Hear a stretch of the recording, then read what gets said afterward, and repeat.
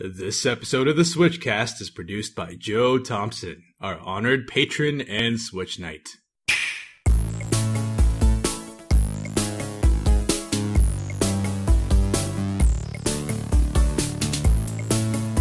Hey everyone, I'm KC. And I'm JV. this is the Switchcast, the podcast for the Switch enthusiast and for the baritone co-host in all of us. Um, I guess, I guess you're happy to hear JV's back. I guess, kind of. Uh, and I, I, I can't keep I- that up. I Do you have like can't. voice envy? Do you wish you had the deep voice of Run Jump Stomp?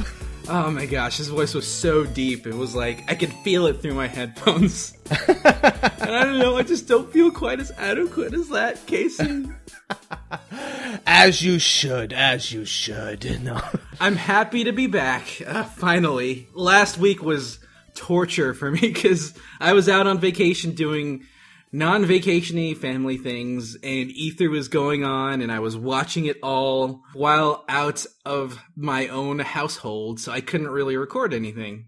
And I have so much to say. Ah, and we're gonna give you a chance because honestly, like people listen to the show not just to hear me. They want you're, you're JV. You're the guy that they want. You're that at least half the people here want to hear the opinion of, and and it, and we have to let you get a chance to catch up at least briefly on what you thought of everything we we saw at E3 this year for Switch.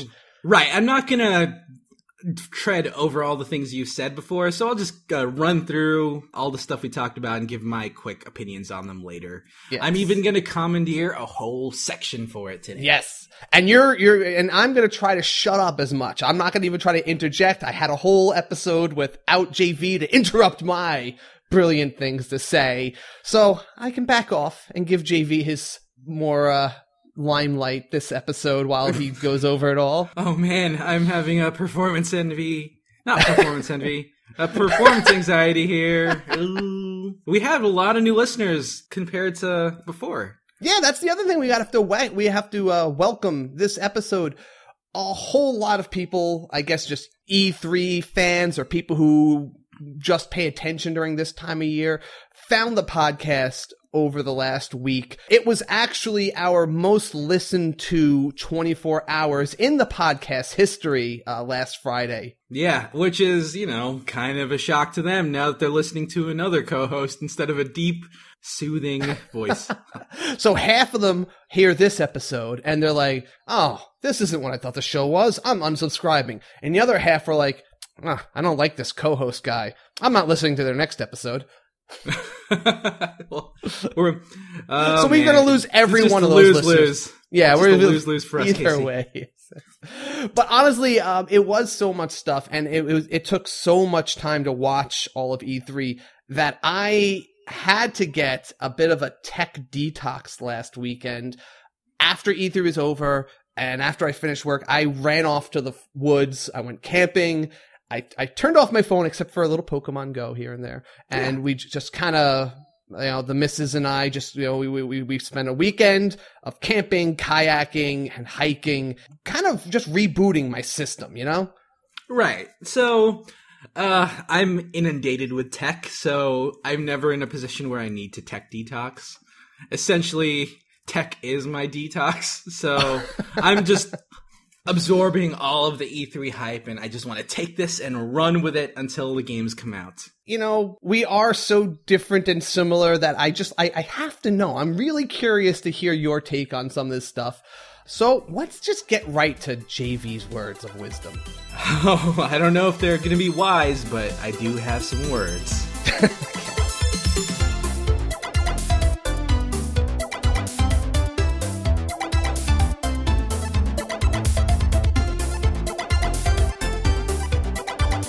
All right, JV, this is your segment. This is your time to shine. So you just take this away. I'm just going to sit back and maybe prod you with a question here or there. Okay, well, I don't want to spend too much time on E3 since you had a whole other episode dedicated to E3 in the, uh, in the last episode. So I'll just run down all the topics that you covered in the order that you covered them and give my two cents.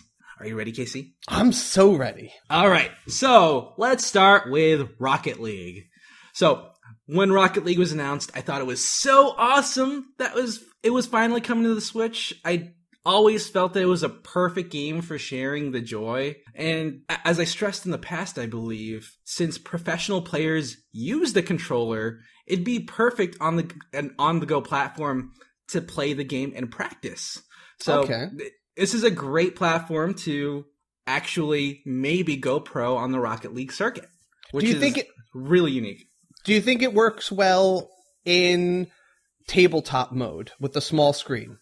Uh, I think it's just fine, honestly. It's not, it doesn't really require that much field of vision, though, of course, you always want a bigger screen for this type of game, but Mm-hmm. you gotta have a few concessions, and that's one that's relatively negligible for the portability. Okay. Alright, so next one Metroid Prime 4. All right. I'm sure this was the biggest surprise for everyone, and there were a couple of concerns that the Rare team isn't back to actually make the new Metroid Prime, but I'm pretty confident they can recapture the magic of the game. Since it's a long time coming, and Nintendo's had a lot of feedback since then to consider what people liked about the original series. So, Metroid Prime 4, incredible announcement. We've been missing Metroid for a while. I'm so happy for this.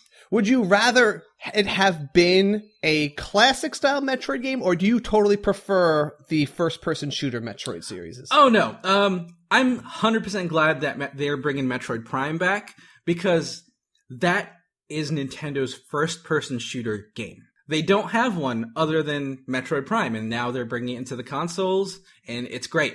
I love it. So what's Splatoon then? It's a third person shooter. Uh, I guess so. Yeah. I guess so.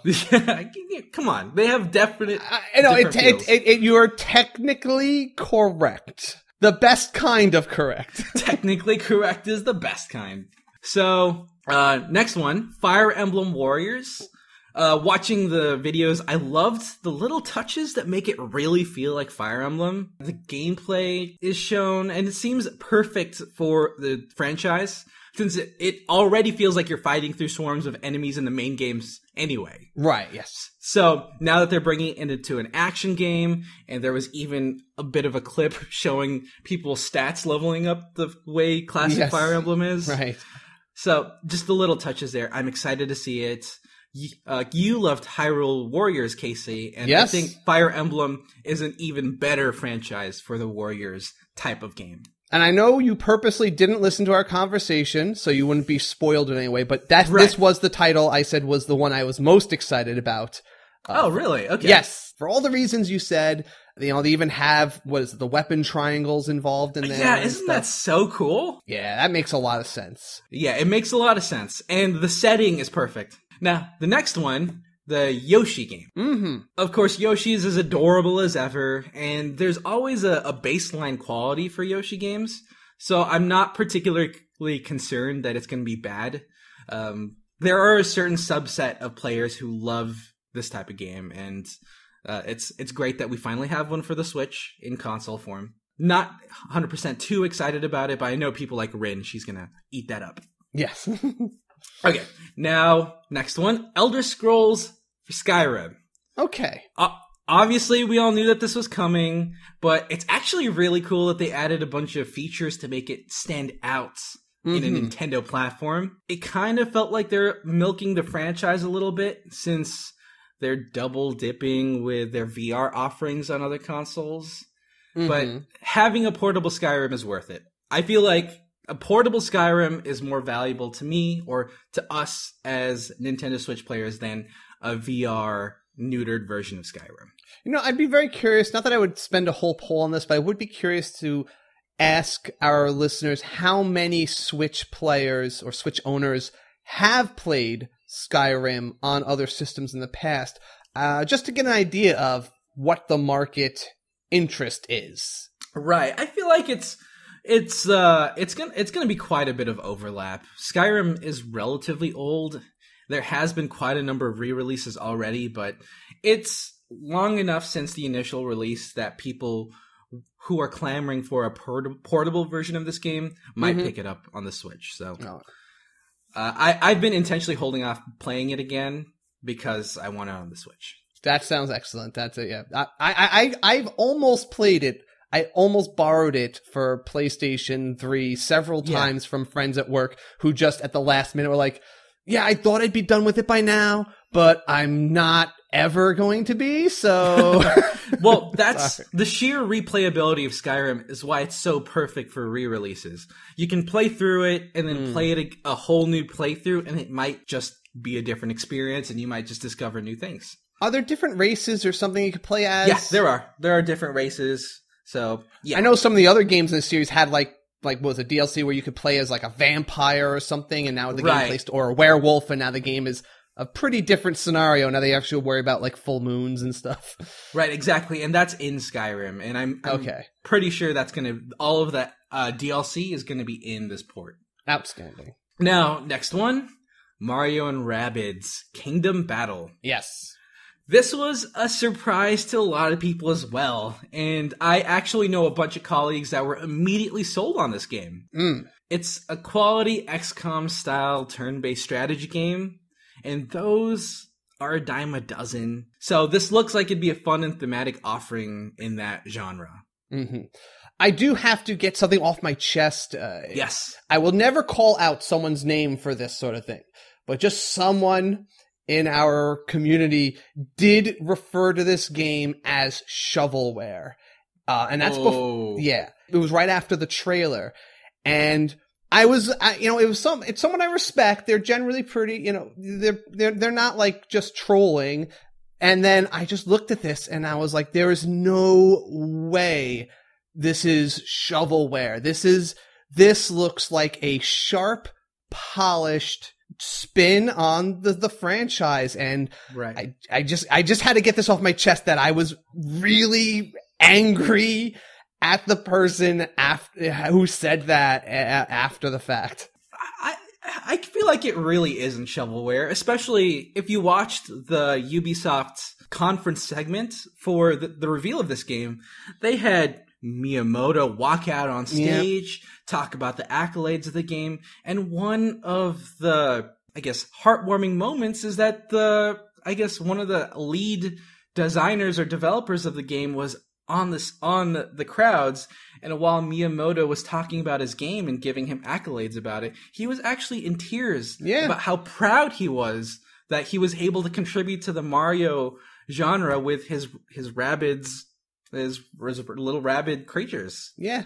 So I feel like this is more of a passion project as opposed to just shovelware. Just as someone to trust you with The Mario franchise. the most valuable franchise and video game icon for someone to give you that, you know, their baby, you know, like that is the most valuable gaming property I, I can imagine. Maybe someone might tell me, oh, well, this is technically more, but honestly, just that trust. And then to hear the creator say, basically, we have given our trust wisely to you. It's just, yeah, I'm sure he was working on this whole game nervous the entire time. Like, am I doing Mario justice? Right. I, I kind of understand the skepticism since, you know, the Mario and Sonic at the Olympics games are kind of shovelware Mm-hmm. Uh, but in this specific case, the way it's presented, the way the developers talk about it and express their love of the franchise, I think it's going to be good.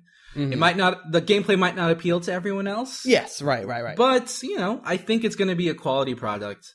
Uh, we'll see when it actually comes out. yes.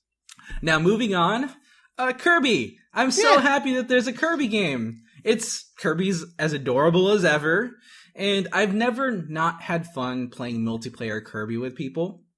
It's it's not going to be a big, heavy hitting game like Splatoon, Mario Odyssey, or Zelda, but Kirby games have almost always been solid and fun experiences.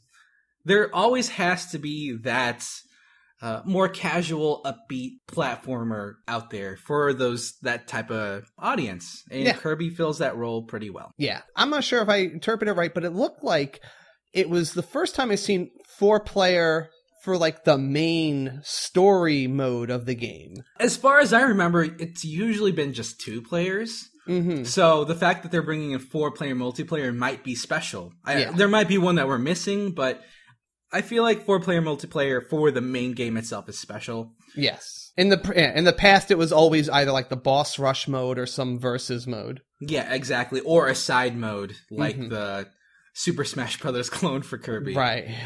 But you know, it looks it looks solid. It looks fun. It's I'm glad that it's not going to be on the 3DS. hmm Anyway, moving on.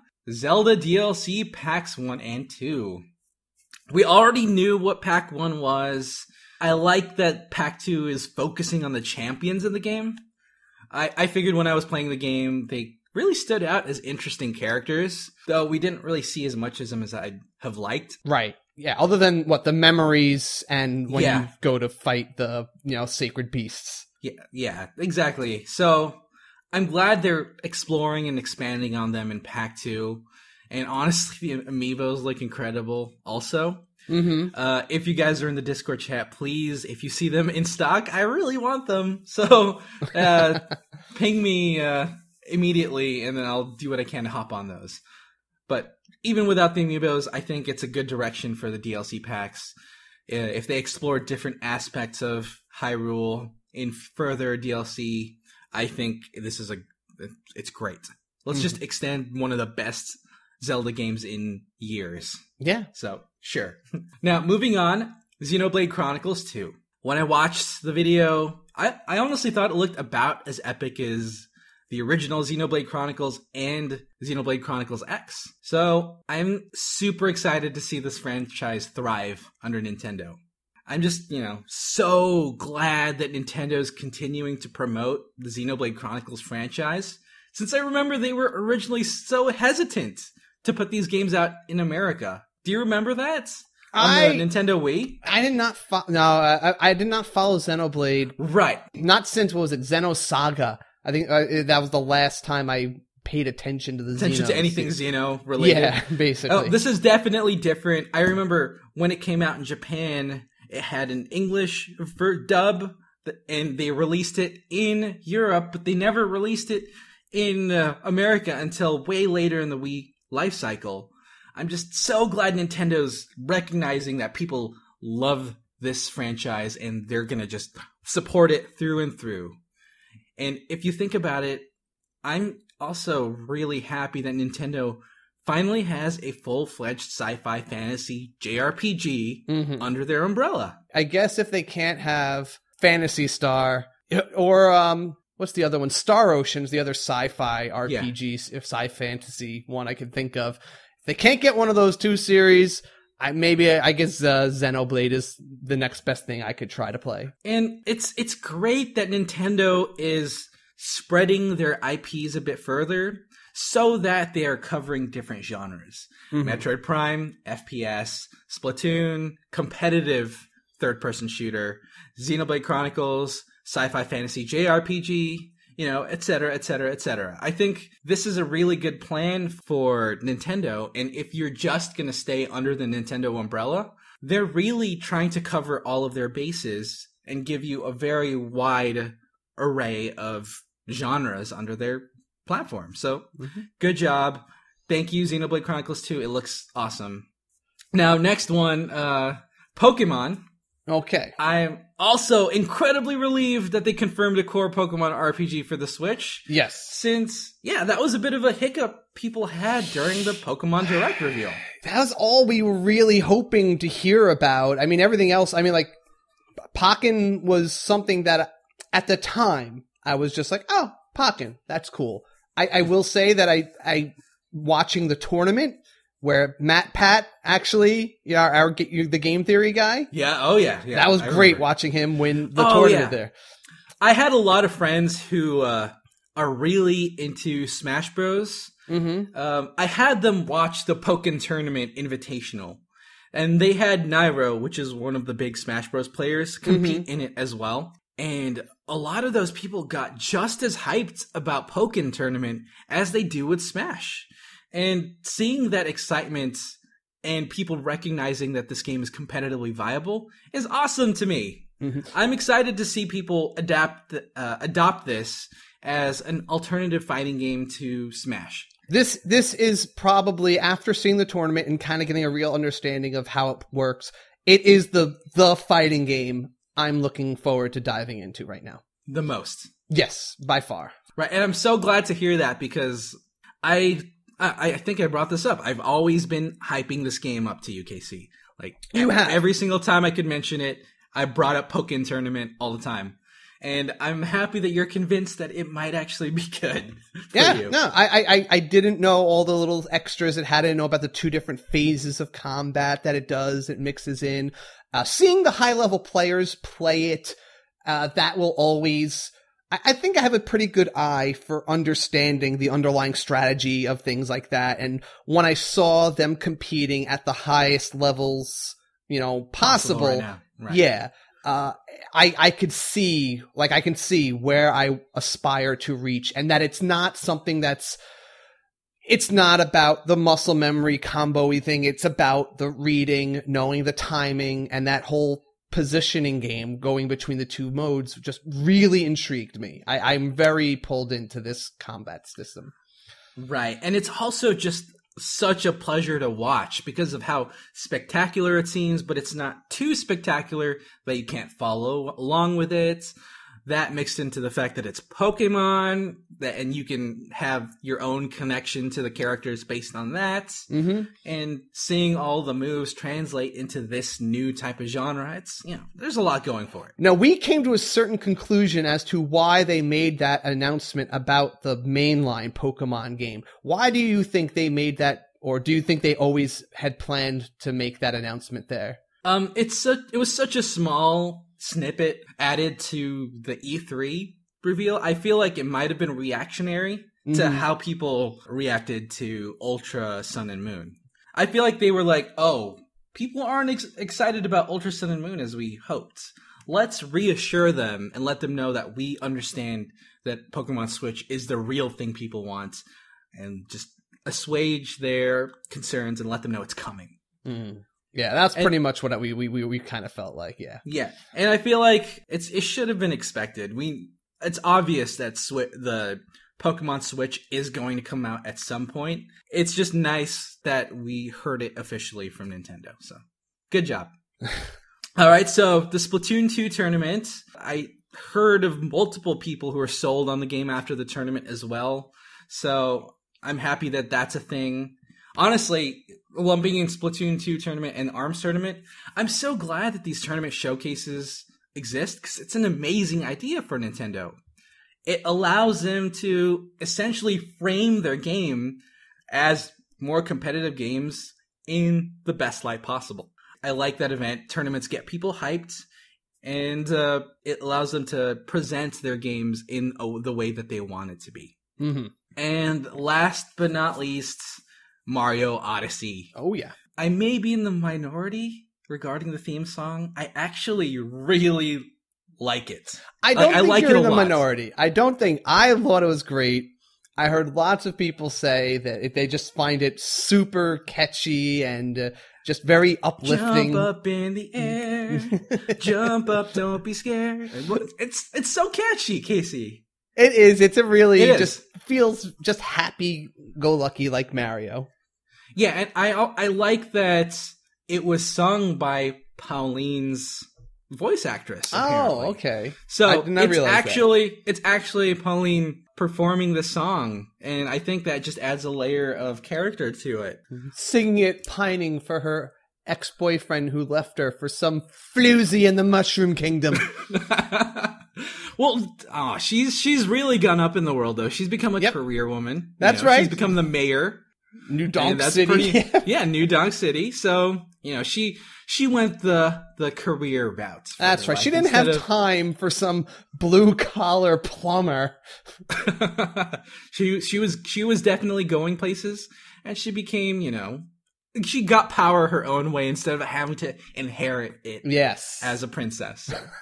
Good on Pauline, you rock. Eh, I like that. I like that take. I'm actually just super enamored by the fact that there are words in a Mario song. Mm-hmm. And to be honest, I might have been a little primed into it because of Persona 5 and there's a lot of really swingy, jazzy lyric songs in Persona 5.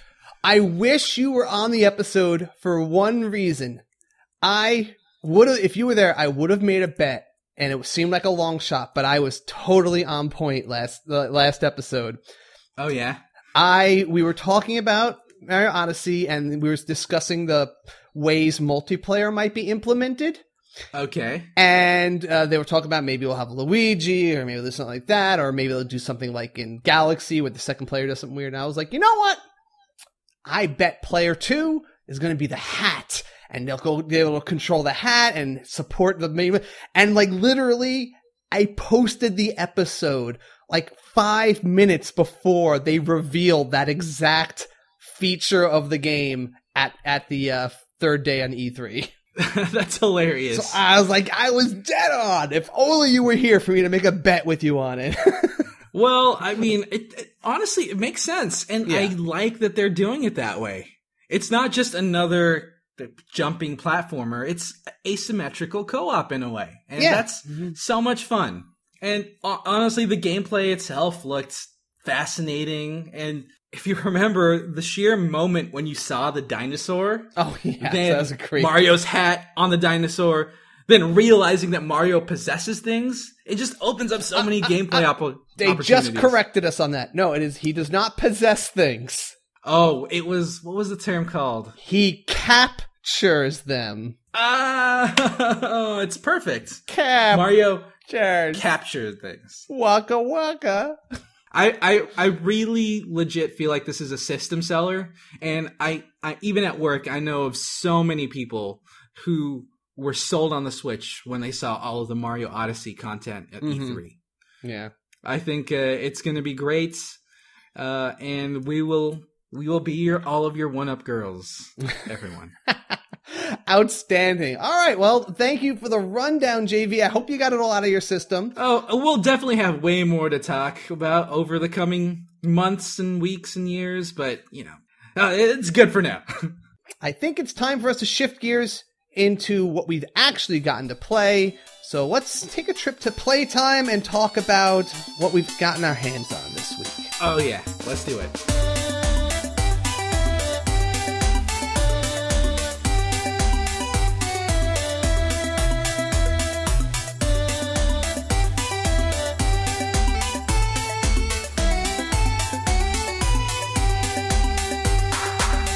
All right, JV, this is it. We've been hyping up. We had two weeks of test punches, but now we've finally gotten our hands around arms.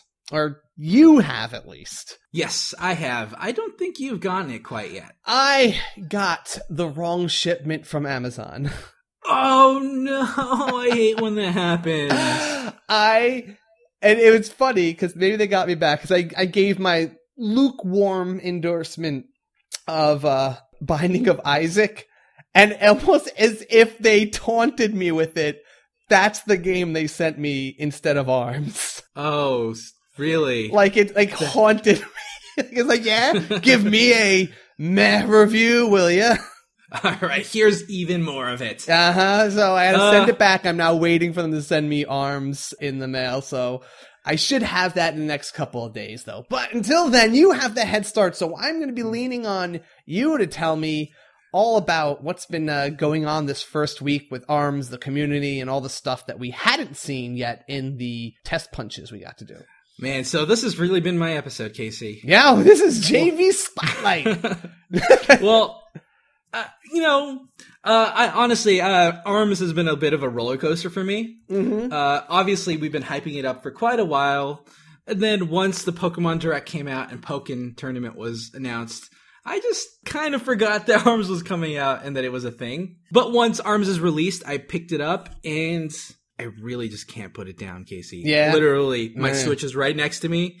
Uh, just five minutes starting from us recording, I was playing it. Ah. I'm hooked. It's legit, Casey. I, I'm already, I already know who I have to major because somebody just pointed this out to me that oh, yeah? obviously I have to play as the other KC, Kid Cobra. oh, that's a good point. I, I guess that's it. I, what someone said that to me in the chat, I was like, yep, that's, that's accurate. And I, I have a main. I don't even care if I don't even click with them. I have a main now. it's just the moniker. It's perfect. Yeah. But Well, yeah, we, we I- were saying there has to be now a JV. There needs to be like Justice Volt or something like that to be your oh, character. that would be so cool. I would, I would be so happy.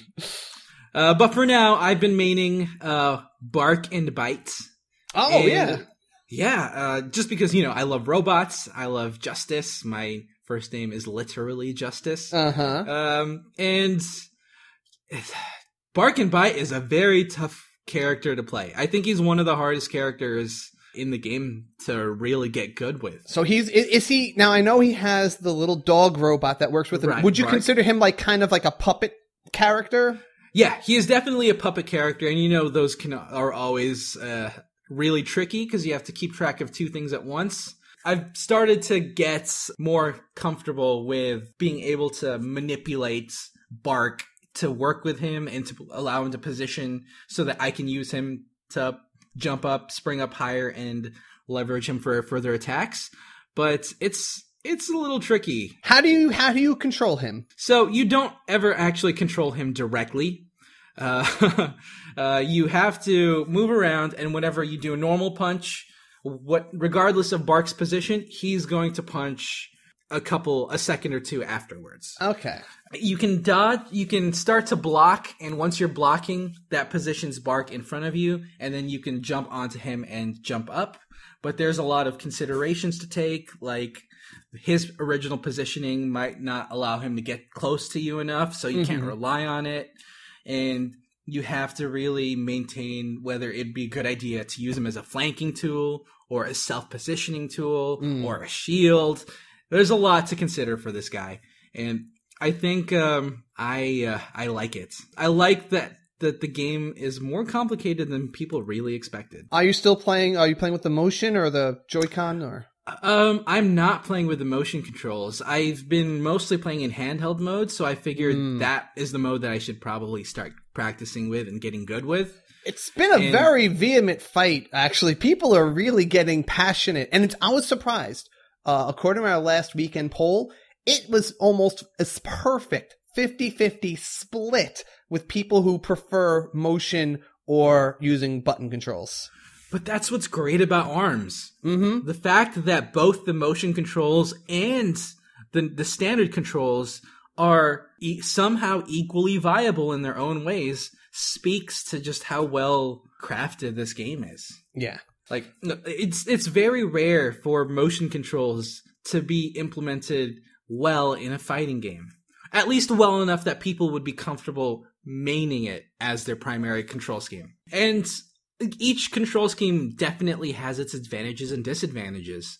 You can with the standard control scheme, you can more snappily move left and right uh, your whole character, and that lets you do a few positionings that's very difficult to pull off with motion controls. Mhm. But with motion controls, you're able to uh, move your character left and right while also angling your punches in a different direction Mm. simultaneously. And that's not something that's easy to pull off with standard controls.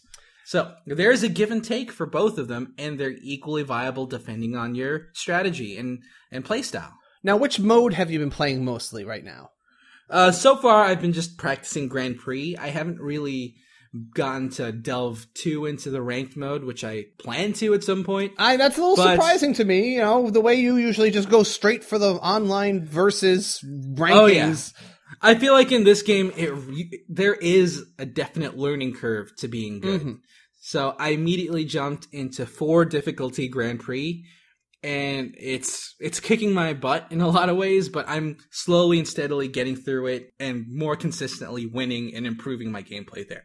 Okay, okay, that's understandable there. And what other mo- modes? Uh, were there any other modes that we didn't see in the test punch that you've gotten to see or try? Uh, I haven't gotten to try it, but I've been playing more hoops and more v-ball because Okay. of the Grand Prix, of course. Wait, so how's Grand Prix work? I mean, uh, that's is that just the one player mode? That's the one player mode where you go through a series of 1 to 10 uh, fights. After a certain number of fight standard 1v1 fights, you're thrown into a V-ball. I see. and you have to win v-ball and then a couple more fights and then you're thrown into hoops and then you have to win hoops and then you go in and you fight the final boss after that Okay. Oh, how is the Um, final boss? Is he someone very interesting or different or?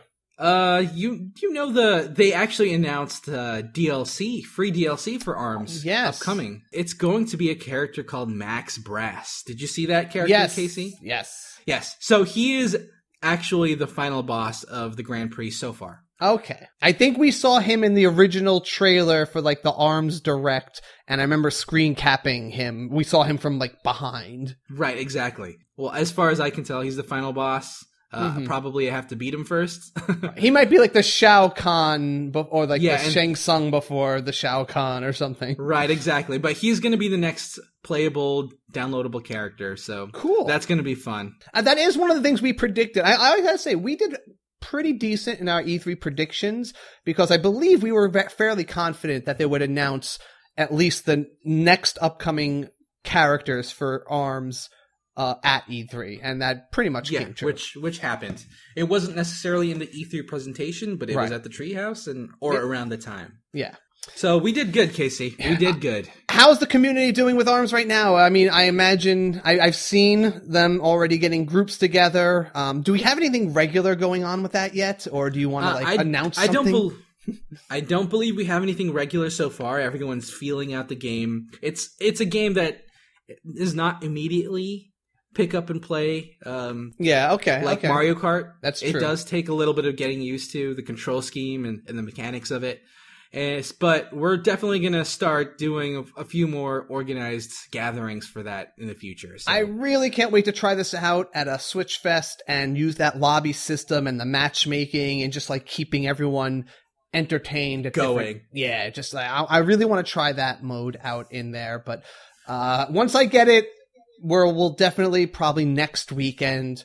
Uh, we'll do some sort of at least some sort of casual event with the group. Yeah, yeah, it's gonna it's it's a lot of fun. The game has a surprising amount of depth, and I'm glad that it's not just throwaway software that Nintendo made. It's le- it's legit, and I really want people to treat it as such. The surprise IP of the year. Yeah, and you know it's it's interesting because people are constantly complaining about how Nintendo is sticking to their old tried and true franchises. That doesn't make and, any and sense. milking it. Yeah, that- It really doesn't. yeah.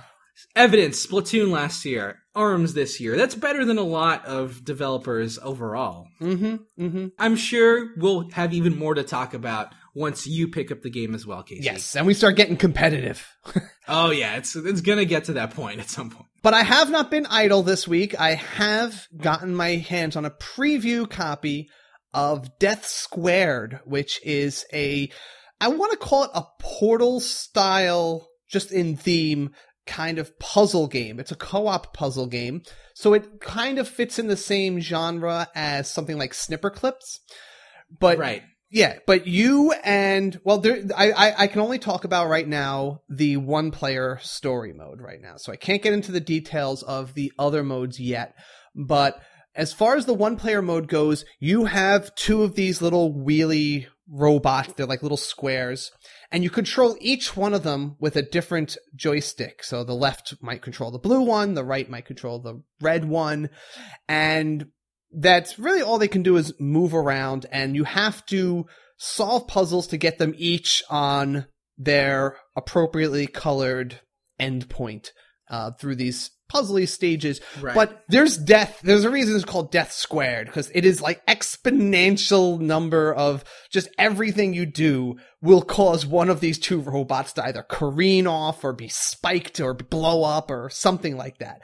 And they set up these death traps everywhere. Like there'll just be a thing where on one of the stages there's blocks. They move in sync with let's say the red guy and they don't even let you see it very clearly. But as soon as you move the red guy, like the first thing you do is like, all right, I'm going to move him to the left. Oh, well, that moves a block that pushes the right guy, the, the, the blue guy off the ledge and he dies in the first five seconds you play the stage. Oh, well, Yeah. okay, okay, that's good. And there's all these death traps uh, that are are placed about, but it's a pretty good little puzzle game where you figure out how to angle things or, or maneuver. So like, there's like lasers that don't kill the red guy, but they can kill the blue guy. So you have to move them in sync so that the red's always blocking that laser beam. And I can already see that when this, because this will go up to four player multiplayer. And Right. that's where I could just see total insanity and lots of like almost, what's that, space team? That level. yeah, space team. Yeah, Of that chaos level. and and and franticness. Um, I, I've seen this game played at uh, preview events like at PAX South or at South by Southwest, and whenever people are playing it, they always look like they're having a ton of fun. So this is a game that I feel like is going to be another great party game uh, among this very certain type of crowd. Yes, right. And uh, it does have a pretty good sense of humor. They have uh, uh, uh, it's the, the I guess the premise of the story is there's some guy at whatever technology company, Omnicorp, and he's just at his desk, and you hear him talking to an AI the whole time, and he's just there to observe and watch because the robots are supposedly like AIs that he's testing for their problem solving abilities, and him and the computer have witty banter here and there. It's Yeah. similar, like I said, to Portal in the type of humor. Not as, Right. yeah, not as I like dark as that game, but it's fun. Yeah. But I, I feel like it, it, a Portal is a, actually a pretty valid comparison for this game. Uh, Death Squared feels like an isometric four player uh, Portal puzzle. Yeah, right, right. But It's the por- a Portal style puzzle. So uh, it definitely uh, we'll, we'll hear more about that in the future. Yes, I think it's coming out in July, so we will be able to talk more about it as the release date approaches. And I'm going to try to beat the one player mode. I'm halfway through it, I think, about now. And, oh, we'll see. Maybe I'll hit a wall. Who knows? And then as soon as I can, I will tell you about the multiplayer once that embargo has been lifted. All right. So that is our games that we've been playing. Honestly, um, it's been a fun week and we got a lot going ahead for us. So let's just get to the news rundown and just catch up on a few of the little things that were announced post E3 that have been happening.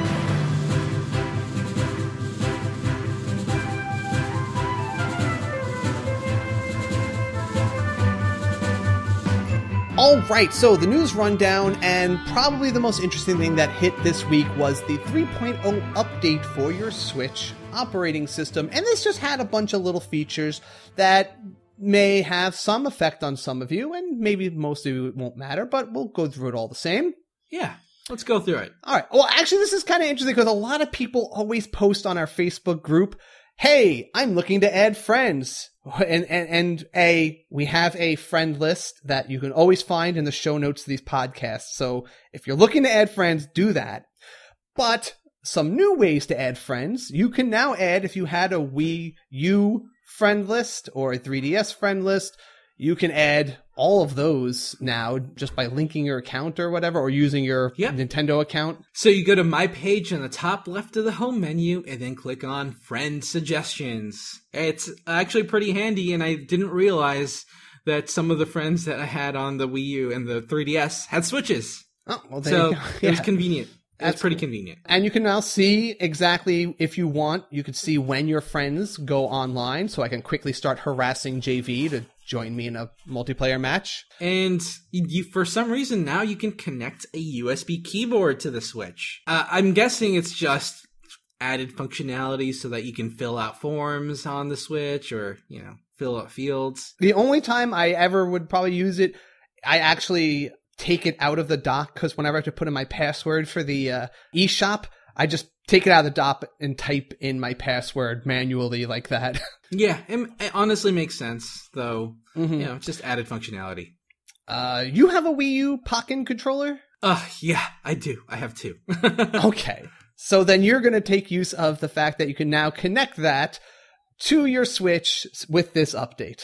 Yeah, it's it's really cool, and I, I read about that. It's interesting because the Pokken Tournament controller is a legit good controller. It feels sturdy in your hand. The buttons are responsive, and I feel like this is uh, the Pokken Tournament controller would be great for fighting games overall in the future. Mm-hmm. In fact, I believe the Pokken Tournament controller would be great for something like Street Fighter Oh, yeah. or you know, Pocket Rumble. That's true. And yes, it can work for other games too. So that's definitely an option if anyone has it tinkering around somewhere. Right. Uh, I think a pretty cool little feature. I don't see a need for this yet personally, only because Right. I, but I can totally see this being something a lot of people need is the option to find a detached Joy-Con somewhere and just you can basically from the controller menu in the game. I guess you would need at least one of your two Joy-Cons to access the menu, but Yeah. once you go there, you can tell it to kind of tell the Joy Cons that have been uh, paired with it before to buzz, so you can hear the buzzing and find like, oh, I left it in the couch again. Yeah, it's it's a feature that may not be necessary, but it's it's nice to have regardless. I think So- it's going to save a few people like ninety dollars. There's going to be a few people Oh. out there whose cats knocked it under a couch and don't know where it is.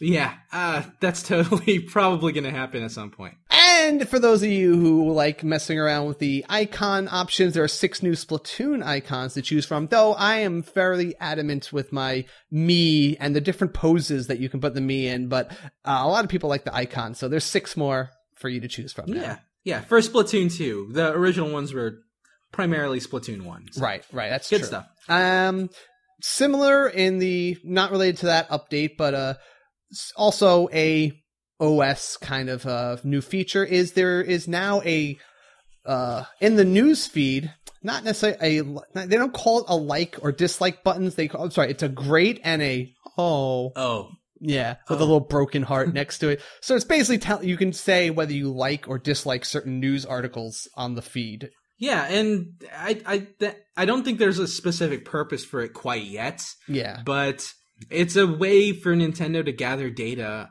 on what people are interested in seeing in the news section and what they aren't. So Yeah. perhaps it's it's you know it, it doesn't hurt, Right. It's and it's something you can completely ignore regardless. Right. It's something for them. I yeah, I doubt they're going to stop, you know, sharing information they want you to get just because you don't like certain ones. But yeah, they will get an idea of, okay, maybe we'll focus on these kind of stories, or maybe we'll stop sending these kind of stories that everyone doesn't like. Yeah, exactly. Uh, level five is trying to find a way to put the Layton series on the Switch. I feel like it shouldn't be that difficult, honestly. The the the Layton games aren't really technically required. They it doesn't require that much graphics capabilities or CPU power. So The only think- thing they stated that might be a hitch they have to figure out is the fact that when it's docked, there is no touchscreen. oh, okay. So they want to make sure they're able to figure out puzzles that don't require a touchscreen. Or, or perhaps they will say, you know what? Maybe this is a touchscreen only game. Maybe you know, it, it like uh, voice. Maybe it has to be in you know handheld mode to play it. Um, you know, yeah, something like that. Or like you said, maybe we'll just have to find a way that it doesn't rely on that. But that is kind of a core part of how the Layton series has worked. So it's uh it's hard to say how they'll go with that. Yeah, we'll see. We'll see. But I feel like if anyone's going to be able to figure this out, it's going to be level five. Yeah, it does. It just does. It does sound like because they were kind of standoffish in the past. It just sounds like before they were like, well, let's see how good the Switch does before we say what we're going to make for it. It sounds like now they're like, all right, uh, things look good, so we want to now try to figure out how to make this work. And someone else who, in the similar lines, EA, after the successful launching of their FIFA game, is now looking to bring other um, of their properties over to the Switch. They kind of, you know, they just basically said in, a, in an interview that the, the Switch is taking off and that we want to now work with Nintendo and find other things that'll fit there, especially things that take advantage of the portability mode because they said that Nintendo Switch players, you know, it's a very specific kind or it's a different kind of audience and we want to bring things over that accommodate or fit that audience. Right. They they were very specific in bringing up the fact that there are player differences Mm-hmm. on the Nintendo Switch, which you know I'm a little iffy on because you know we're we're all gamers, and the Nintendo Switch is trending towards adult Yeah, owners, so I don't think they really have to work on on catering to a younger or a younger audience. So No, I see what you're saying. That makes a lot of sense. It's not like we're a very different type of gamer, right? We're just Yeah. you know, we're ones who have this system and we have one extra trick that other consoles don't have. Yeah, exactly. We're just gamers, but we just happen to have a console that allows us to play portably. hmm Another Hori headset is uh, set for July, and again, it's, it's it kind of has that same setup as the last one we saw. The uh, was the Splatoon themed one. This one doesn't have the, that with theme. the Yeah, but this one still has an adapter that hooks up to both your uh, smartphone and the Switch. So I guess Hori, that's Hori's thing now. Yeah, I guess so. And you know, but That's their solution. still we have no information on how that app's going to work so it's still weird that i have this device that we don't even know how it's going to work with that thing Well, we'll see. We'll see. yeah and just in case anyone wasn't sh- 100% clear on what they were saying because some people were like you know reading really far into the wording of that pokemon announcement from e3 about the mainline game uh, reggie just spelled it out for us in an interview that and i quote the pokemon game for switch is a traditional find, battle, train type experience. It's not going to be some new spin on the series. It's going to be that kind of. I still suspect there's going to be some very interesting twist or addition to the series because this is a big new system for it to go to and a console, but it's going to be what you expect a Pokemon mainline game to be. So, um, it seemed like some people might have expected the Pokemon Switch game to be more in line with Pokemon Stadium or Yeah. Battle Coliseum, or even a little bit neutered like Pokemon XD and Pokemon uh, for the GameCube Pokemon games. Mm-hmm. And Reggie, I'm glad Reggie was able to just clear that up and, and say, no, it's going to be legit. Right, right. Because yeah, we, we we think of this as every other console Pokemon game they've made.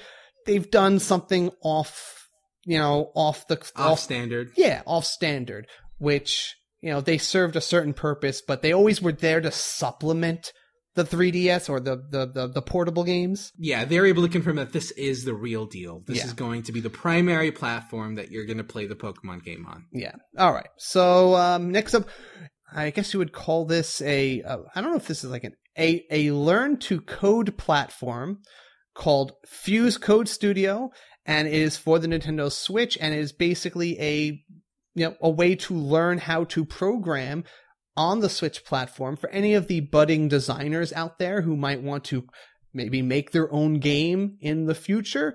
This is a uh, application or a program that will get you started and maybe help the next generation of homebrew games if that is something that could come in the future down the line. I'm actually looking at screenshots here, and I love that they have, you know, while loops and if else statements and prints print.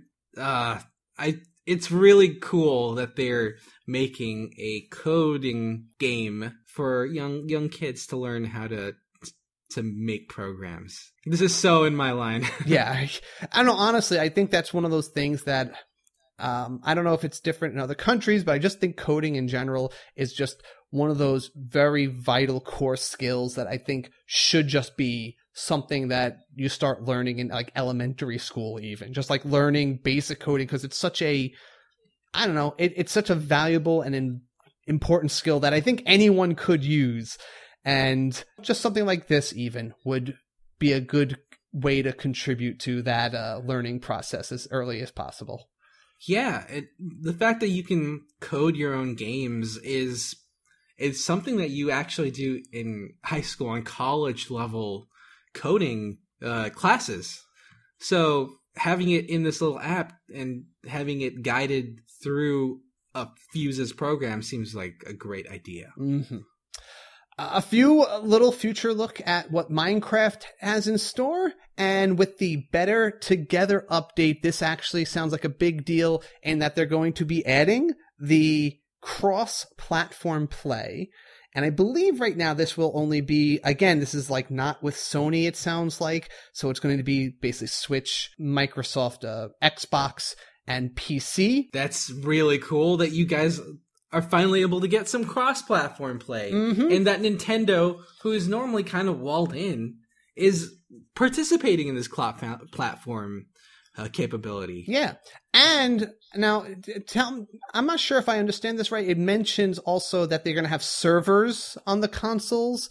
Does that mean that Rin doesn't have to keep her system on whenever other people want to play on her game? Yeah, it looks like finally servers are actually going to be available in console games. Uh, this isn't quite as open as Minecraft Realms, where people are just hosting their own private servers and letting people have access to it and having their own controls. It looks like these servers are a lot more curated with a lot of parental controls, but the fact that servers are going to be available on the console platform is a big deal. Okay, very cool. Very yes. Cool.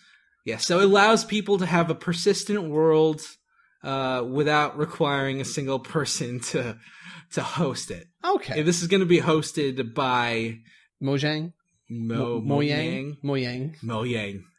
It's going to be hosted by the Minecraft people themselves. Bedeet, bedeet, bedeet. That's all, folks. Uh, yep. um, and they also showed off one little thing of the super duper graphics pack that will be coming out. And you know, it's it's what that sounds like. It's a lot of little extra um, graphical upgrades, still keeping it in that boxy style. Um, Switch doesn't get the full 4K graphics of this, but it's going to have a lot of the other little bells and whistles and uh, other little upgrades to the textures, just to make the game look a little less plain and and and uh, flat. You know, it just just adds yeah. a little more depth and uh, and uh, detail to the blocks. Yeah, it looks like it's having super duper graphics. Yes, right. Um, we got a release date for Xenoball, Xenoball, Dragon Ball Xenoverse 2, and that's going to be coming out September 7th in Japan.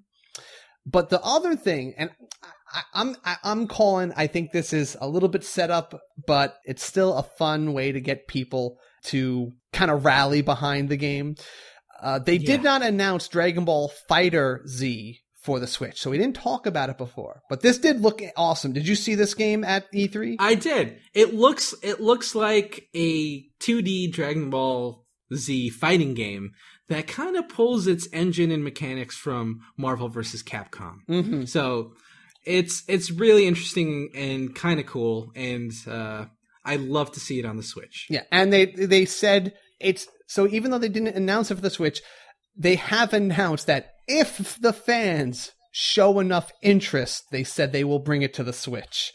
And even to back this up a little further, the voice of Vegeta himself went on Twitter and said that, I quote, as a bona fide Switch fan, I support this movement. Retweet! And he called to arms for people to um, harass Bandai Namco to bring this game to Switch. Yeah. Um, very cool grassroots movement. I hope it actually gains traction. Yes. What as much as I think that this was, you know, I they totally intend to bring it to Switch. I think that they know it's it, it's a fun way to play off of the enthusiasm of the Nintendo fan base that you probably couldn't do with most other consoles reliably. And yeah, yeah just I getting agree. them to like cheer and retweet to get this game coming over to it. But it does look really. I, I love the way they do the because it's the three on three battles, like the King of Fighter yeah. style. And I just love the way, like, as soon as one guy gets knocked out, they cut right into that animation of the new fighter coming in and clashing with the, the winner of the last match. Right. And that kind of reminds me of Marvel versus Capcom. And I oh, they do do that too. Yeah. Very cool. Uh, somewhat similarly. But, okay. um, yeah, it's it looks great. The animations look great, and I'm glad that they're bringing a 2D fighting game back for Dragon Ball Z. Very, Very cool. cool stuff. There's a dodgeball arena game coming out next month called Rocket Fish. Um, Rocket Fist. I'm sorry, Rocket Fist. yes, that's what it's called. And then there's a, a bullet hell shooter called Danmaku Unlimited 3 hitting the eShop later this year. It's only announced for Japan, but as a bullet hell shooter, you really don't need to, uh, you know, know the language. Have that much text. Yeah, yeah. I think that it's, it's mostly menus. Yeah, I, I, I think this will be a totally viable game just to get off their eShop, whether or not it comes here. And uh, I will not bother with the Legend of Bumbo because I didn't even show the gameplay to that game. So, and yeah, that's all that we have for the news. The new releases for this week have been ACA Neo Geo Sengoku. So yeah, I believe uh, Sengoku is a type of Double Dragon style beat 'em up game. Okay.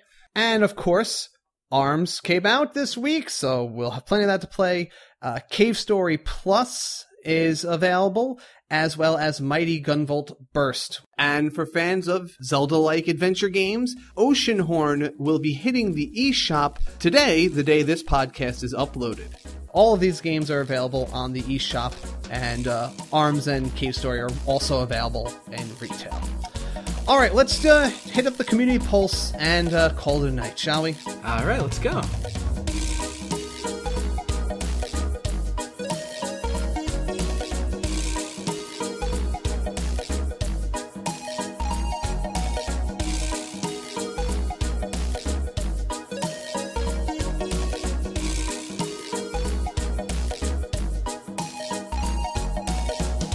All right, so starting with Aldrin Cornejo.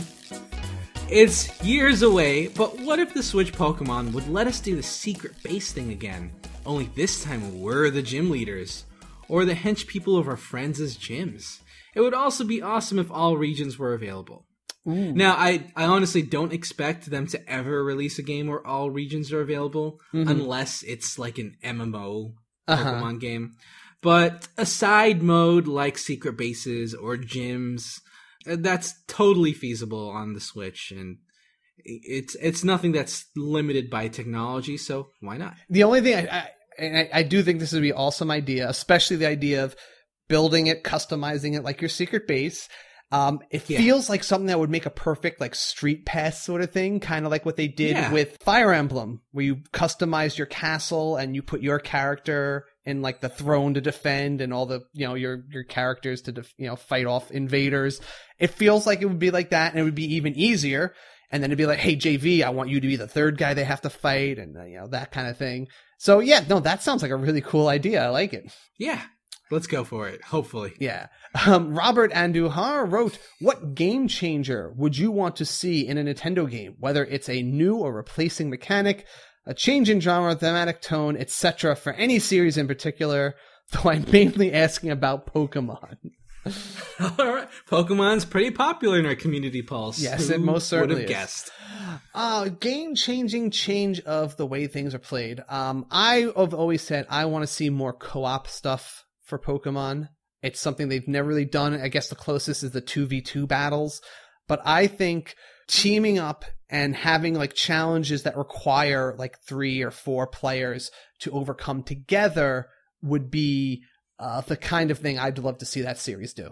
I would love to see maybe some sort of Pokemon raiding or Pokemon dungeons that you could run with uh, with people in a co-op mode, and perhaps there could be rare Pokemon or items at the very end of that dungeon. That might be something that that would really take off on the Switch. Yeah. Are, are you liking? Are you excited about the Pokemon Go updates? Oh, I'm so excited about So, that. so, so, so And- when are we doing our Pokemon Go podcast? Come on. No. Oh, PogoCast? Next episode. We're done. Yeah. We're, we're doing PogoCast from now on.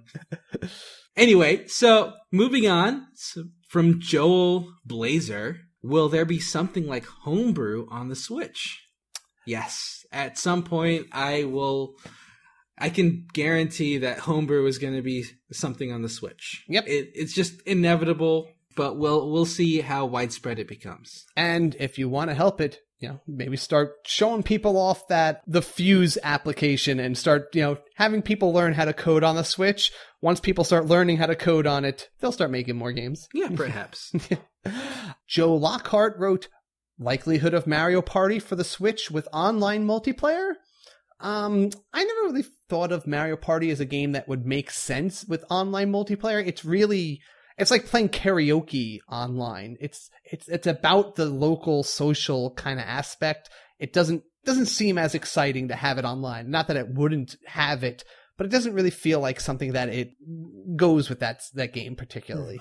Right. Um, I can see the appeal of having your friends on voice chat while you play Mario Party, but I don't see it as being a priority for Nintendo in the future. Right, right. So I, I it's dubious. I doubt it. Anyway, so from Tony Lyons, Have you done the ARMS Grand Prix on level 7 yet? No, I have not. I'm barely surviving Grand Prix on level 4. Once I get to the point where I can do Grand Prix on level 7, I feel like I'm just good at that point. I don't think I'm near that skill level quite yet. Awesome. No, it's something to aspire to. So, I mean, it's only been a couple of days, and if you could beat level 7 yet, that would probably mean the game's a little too easy. So I'm, I'm, glad to hear that you haven't beaten it yet on that level. Yeah. Apparently, level four is when it starts to get really rough mm. and, and difficult. So apparently, I just hopped into level four without even really getting into the game. So okay. I'm starting off rough and I'm beating myself up for it. and with that, don't don't don't beat don't beat yourself up anymore, JV. You should go rest and heal up because that's the last yes. thing for this episode. And I want to thank everybody for listening. And I think this is a good time to remind everybody, especially our new listeners who might not know, we have a Patreon. If you like the show and you came back from last week to listen to this week also, just consider, just throwing it out there, visiting patreon.com slash the switchcast. That's where you can support this show and you can pledge a dollar, five dollars, ten dollars a month to help us make more shows, to do more types of things with the show, pay for our servers, maybe get into some video streaming, all that kind of great stuff. And there's even some rewards that we are working on. We had some hangups, but believe me, we are working on getting those rewards out as soon as possible. If you go down there and you can see what those rewards are, they range from t shirts to shout outs on the show, like the one you heard at the beginning of this one, and some special little honors on our Discord chat. Speaking of which, we have a Discord chat.